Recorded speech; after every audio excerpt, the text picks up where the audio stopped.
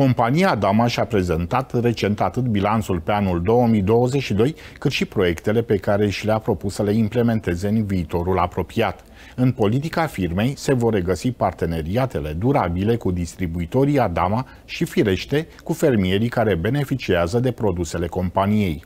De precizat că la acest eveniment a fost lansat și programul Adama Cash, o inițiativă prin care se vrea și susținerea financiară a agricultorilor care sunt clienți fideli ai firmei.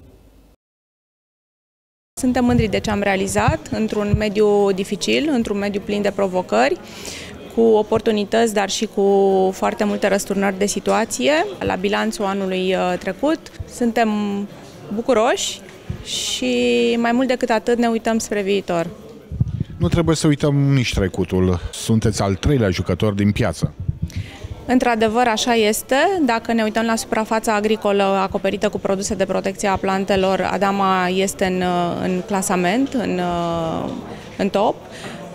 Într-adevăr, avem și multe schimbări de portofoliu, însă asta nu ne-a împiedicat să ne păstrăm poziția și locul în piață și tot ceea ce facem în activitatea pe care o avem uh, ne uităm să, să fim cât mai aproape de clienții noștri parteneri, atât fermieri cât și distribuitori, prin intermediul uh, echipei noastre de reprezentanți tehnici, echipei comerciale și Uh, restului echipei care, care este în, în spatele și în, uh, în sprijinul și în ajutorul celor care sunt în teren. Lansarea unui program destinat fermierilor, Adama Cash Plus, în care vom recompensa fermierii care sunt alături de noi prin produsele pe care le cumpără cu o anumită parte din bani înapoiată în conturile dânșilor.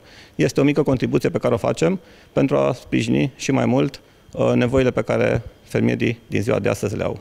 Anii ăștia nu au fost deloc ușor pentru nimeni din, uh, din piața asta și uh, datorită dezechilibrelor uh, economice și a crizelor de tot felul, inclusiv sociale și umane, trebuie să vezi bine care sunt riscurile pe, pe piața asta și în același timp să, să încerci ca să colaborezi cât mai bine cu toți cei din piață sau toți cei din aval sau din amontele companiei tale. Trebuie să ai finanțare, trebuie să ai grijă de bani, de cash este the cash is king, ca de obicei.